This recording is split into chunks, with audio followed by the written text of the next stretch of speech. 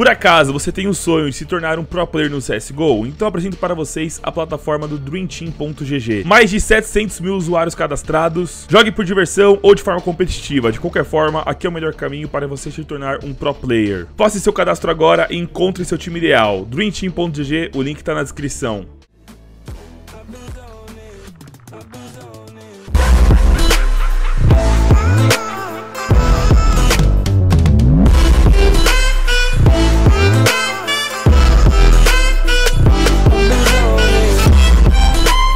Aí galera, sejam bem-vindos a mais um vídeo aqui no canal Cachorro 1337 Pra quem não me conhece, eu me chamo Rian. E seguinte pessoal, Hoje é um vídeo um pouco diferente, um vídeo onde eu quero bater um papo com vocês relacionado ao mundo das skins e também conversar um pouco sobre o que, que foi esse ano para o canal. Bem, 2018 está chegando ao fim e foi um ano que eu tenho que agradecer muito a Deus, muito a vocês e ficar feliz porque o meu trabalho deu resultado. Para quem não sabe, eu iniciei o ano de 2018 com em torno aí de 75 mil inscritos e estamos terminando com quase ou até mais, não sei que dia eu estarei estarei postando esse vídeo. Mas nesse exato momento, estamos com 226 mil, cara. Mais que dobramos o nosso número de inscritos. Além disso, eu conquistei muitas coisas no YouTube, conquistei muitas coisas na vida pessoal, inclusive essa linda AWP Neonor, que já já eu mostro pra vocês. Na verdade, eu já tô mostrando aqui agora. Essa é uma linda AWP Neonor, né, que na verdade pronuncia-se Neonor, alguma coisa assim. Neo-Noir. Neo-Noir. Não é Neo-Noir, não, é Neo-Noir. Essa daqui é uma Factory New, não está tão cara, tá custando em torno de 126 dólares, 125 dólares. É a OP mais recente aí que o CSGO lançou, ela veio naquela coleção da Danger Zone. E, mano, eu comprei uma em reais, eu paguei em torno aí, em torno de 550 reais. Eu tô curtindo bastante essa AWP, ela combina muito com essa minha luva roxa. Inclusive, eu quero mostrar para vocês uma jogada que eu fiz. Nossa, um varado aí que eu já tô tentando há muito tempo e finalmente eu consegui.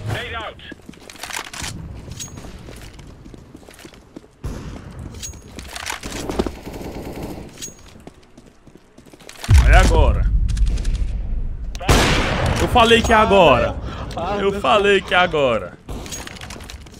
Galera, essa Alp é muito pouco quando compara-se a tudo que eu consegui conquistar nesse ano, não só na vida pessoal, mas também dentro desse joguinho, cara, que pra mim não é só um joguinho. O CSGO mudou minha vida e eu espero que ele continue mudando por muito, muito tempo. Eu amo o jogo, não sou um jogador pro, não sou um cara muito, muito bom, mas isso não muda nada quando eu quero falar sobre o amor que eu tenho por esse jogo. Não só pelo jogo, pela gameplay, assim como também pelas skins. Eu sou o único canal do Brasil focado em skins de CSGO. Existem poucos canais. Eu não sou o único, na verdade, mas o único canal de expressão, o único canal grande do Brasil focado em skins sou eu. Na gringa existem diversos canais muito grandes, com mais de um milhão de inscritos. Porém, eu fui o primeiro cara aqui no Brasil a trazer esse tipo de conteúdo focado, mano. Eu faço de tudo para trazer vídeos todos os dias. Vocês estão ligados, né? Às 19 horas. E o grande foco dos vídeos é falando sobre as skins. Eu mostro para vocês tudo que eu conquisto. Eu conto para vocês vocês sobre atualizações, curiosidades. Tem os haters que ficam loucos, que eles chegam e falam, pô, esse canal é um lixo, o cara só fala de skin, o cara posta mais vídeos de skin do que gameplay, mas cara, é o meu canal, mano, é o foco do meu canal. E eu tenho muitos inscritos que amam esse tipo de vídeo. Quando eu comecei a postar vídeos de CSGO no YouTube, porque pra quem não sabe, não foi sempre assim, o meu canal já foi focado em Minecraft, mas quando eu comecei a postar vídeos de CSGO no YouTube, eu era muito fã do Lugin, cara, eu era muito fã do Lugin. Na época, ele era um dos únicos youtubers de CSGO do Brasil, ele tinha um dos inventários mais caros do mundo. Eu lembro que ele ficava na lista, né, dos 10 inventários mais caros do mundo. O inventário dele valia mais de 400 mil dólares. Eu era muito fã do Lugin, cara. Não perdia um vídeo dele e eu ficava encantado com as skins que esse cara tinha. Só que, assim, eu sempre via ele com uma Dragon Lore. Eu sempre via ele com facas safiras, rubis, esmeraldas, Dragon Lore. E eu sempre sonhei com aquilo, cara. Só que era um sonho muito distante. Afinal, são poucos que conseguem ter uma skin como essa minha faca M9 Safira, que custa quase 10 mil reais reais, cara. Não é todo mundo que tem dinheiro para isso. Mas foi aí, pessoal, que eu decidi que eu iria focar muito no meu canal, que eu iria trazer vídeos de qualidade, vídeos interessantes, focar na qualidade, na frequência e que eu daria meu máximo para conseguir crescer o meu canal e quem sabe um dia eu poder ter todas aquelas skins que eu via que o Lugin tinha, que outros youtubers também tinham, mas que para mim parecia algo impossível, inalcançável, e eu descobri que não. Lutei, corri atrás, batalhei. Hoje eu tenho aqui uma M9 Safira. Não é a minha primeira M9 Safira, eu já tive outra alguns meses atrás, que eu vendi, né, para pegar uma grana, mas eu já tive Butterfly Safira, Karambit Safira, Falcon Safira, Shadow Dagger Safira, Flip Safira, Gut Safira. Tenho essa luva, que é uma luva de 1.500 dólares. Tenho uma Dragon Lore, que no momento não está no meu inventário, porque eu emprestei para um amigo, mas eu tenho a tão sonhada Dragon Lore Factory New. Hoje eu tenho uma Dragon Lore que eu posso deixar no meu inventário sem problema nenhum, porém, eu acho que vocês sabem que eu já tive outras, já tive pelo menos aí quatro Dragon Lores no inventário, só que eu tive que vender porque, mesmo depois que eu comecei a ganhar essas skins que eram tão sonhadas por mim, eu nem podia ficar muito tempo com elas, eu tinha que vender. Era a forma que eu conseguia pra viver, né, cara? Conseguir tirar uma grana boa. Então eu sempre vendia as minhas skins mais caras. Eu comecei o ano de 2018 com um inventário azul.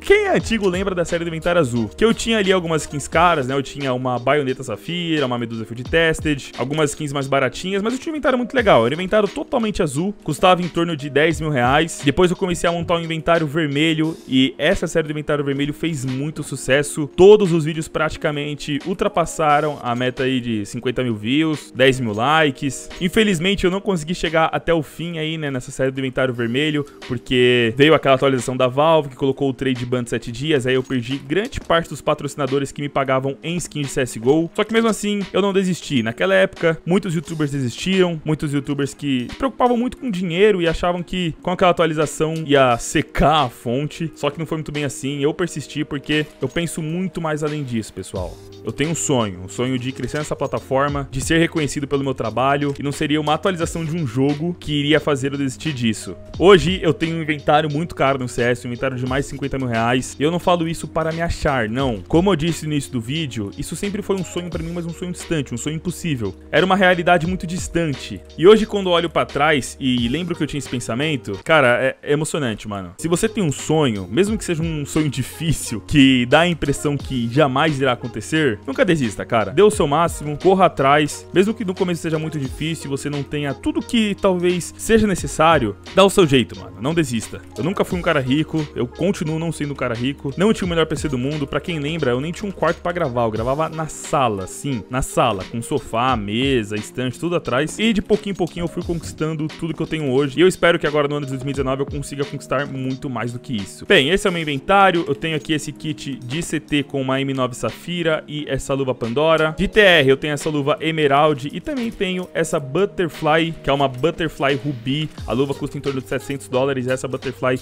uns 1.700 dólares. Porém, pessoal, aqui no meu inventário vocês podem ver que eu tenho essa linda Karambit Emerald. Essa Karambit talvez seja o item mais caro do meu inventário. Ela tem um float bom, ó, 0.02, e ela combina muito bem com a minha luvinha. Porém, eu não sei se agora em 2019 eu irei manter esse kit verde, né, com essa luva e essa faca esmeralda, ou se eu irei trocar a luva, manter a Butterfly e pegar uma luva vermelha, fazendo um kit vermelho. Provavelmente vou... o kit azul é quase certeza que eu vou manter. Eu gosto muito daquele kit, dificilmente eu irei mudar. Porém, o segundo kit eu não sei se eu deixo um verdinho ou um vermelhinho. A vantagem de deixar o kit verde é que ele combina bastante com essa minha Fire Serpent Factory New Star Trek. Foi uma baita conquista também minha, pô, um item de quase 4 mil dólares, muito, muito caro. Em breve eu irei pegar um novo item, né? Um outro item aí, muito, muito caro também. Esse item com certeza será o mais caro do meu inventário. Em breve vocês vão ver, cara. É um item que, mano do céu, pesado. Pesado, pesado demais. Em 2019, eu quero também pegar algumas skins diferenciadas. Eu acho que Esmeralda, Rubi, Safira, por mais que sejam muito lindas e dificilmente as pessoas se cansam delas, sei lá, mano, já muitos youtubers já pegaram. Os youtubers grandes sempre focaram nessas skins Esmeraldas, Rubi, Safiras. Eu quero fazer um inventário um pouco diferente. Eu quero pegar algumas facas um pouco diferentes, também raras, como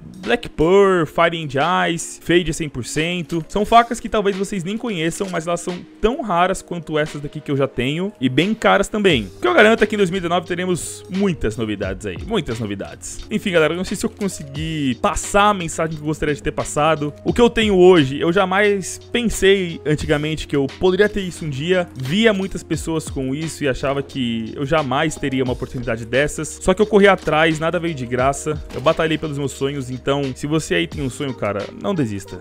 Você terá problemas, obstáculos, mas isso não é motivo pra você parar. Só chega lá os mais fortes. E eu espero que eu possa chegar a muitos outros lugares. Porque o que eu garanto é que eu vou trabalhar demais, cara. Eu vou trabalhar demais pra em nenhum dia faltar vídeo e que os vídeos que eu postar sejam os melhores possíveis, os melhores possíveis. Também não sei por quanto tempo eu irei ficar com esse inventário. Afinal de contas, como eu disse, o inventário vale 50 mil reais e a qualquer momento eu posso pegar esse dinheiro na vida real, né? Não exatamente os 50 mil reais, né? Mas pelo menos uns 60% desse valor, o que continua sendo muito dinheiro. E sei lá, no fundo, no fundo, eu não gosto de segurar tanta grana assim dentro de um jogo. Jamais ficarei sem skin nenhuma, mas talvez eu faça um downgrade aí e me desfaça de algumas skins, porque é mais seguro pegar esse dinheiro e segurar no banco. Acho que vocês concordam comigo. Para esse vídeo, pessoal, eu quero fazer o sorteio aqui, deixa eu escolher uma arma bem da hora. Eu quero fazer o sorteio dessa Glock, ó. Então, essa Glockzinha que vocês acham muito linda, eu irei sortear para vocês caso esse vídeo bata a meta de 5 mil likes em até 24 horas. É uma meta que eu tenho certeza que vocês conseguem bater, então deixa o like. A minha preferida, eu já falei isso diversas vezes, é a Dragon Lore. Ela não tá aqui agora, tá com um amigo. E é isso aí, pessoal. Lembrando que aqui no canal Cachorro 367 eu posto vídeos todos os dias às 19 horas. Então eu peço que, por favor, você se inscreva, ative o sininho e passe aqui